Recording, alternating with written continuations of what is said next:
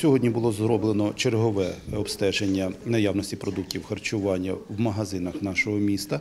Але крім того, відповідно до доручення голови е, військової адміністрації, також особлива увага була звернута на е, хліб нашого хлібозаводу, на ціну. Яка е, в магазинах, е, за яким він продається, а також на ціни на основні крупи: це е, пшенична крупа, рис і гречка. Було обстежено чуть більше 20 зранку магазинів. Особлива увага це мікрорайонам нашого міста. Хотілося б зазначити, що хліб це чорний і батон в магазинах є. Ціна за хліб 20 гривень. Батон тут є від 16,50 в одному магазині до 19 гривень.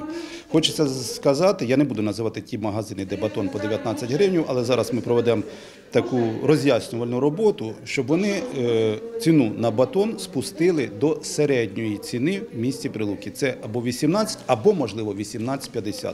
Тому що ніяких витрат щодо доставки хлібобулочних виробів нашого підприємства в магазини вони не несуть. Хлібозавод своїми силами на своїх автомобілях е, здійснює розвозку своєї продукції. Тому лишня націнка е, вона вже не дає імідж підприємству.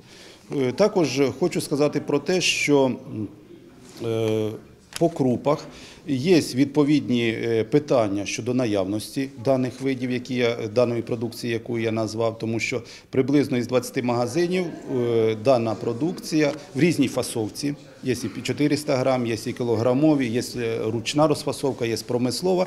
Вона є приблизно у чуть меншій половині магазинів. Тому зараз будемо відслідковувати підвезення даного продукту е, в торгові точки нашого міста. За результатами обстеження крупи, рис, гречка є у меншій половині магазинів, а їх ми перевірили сьогодні 20.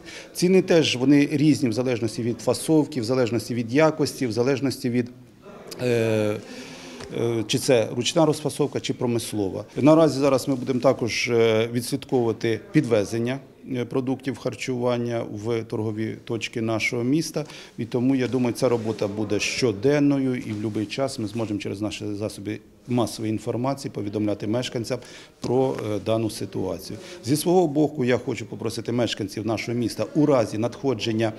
Е, У разі, якщо вони побачать е, штучне завищення ціни на хлібобулочні вироби і на крупи в магазинах, повідомляти черговому виконавчому комітету міської ради 33001. При цьому, будь ласка, без паніки називайте об'єкт, тобто магазин, де ви це побачили. Тому що я не виключаю факти про те, що можливо десь і йде е, штучне завищення ціни. А також, е, також, якщо хто користується соціальними мережами, будь ласка, е, прописуйте теж назву магазина, де ви це побачили, щоб це не було паніки і не було такого, що якось було вчора рис на базарі 120 гривень, але моніторинг цього не підтвердив. Можливо, це вже хтось перепродував із автомобіля даний продукт харчування.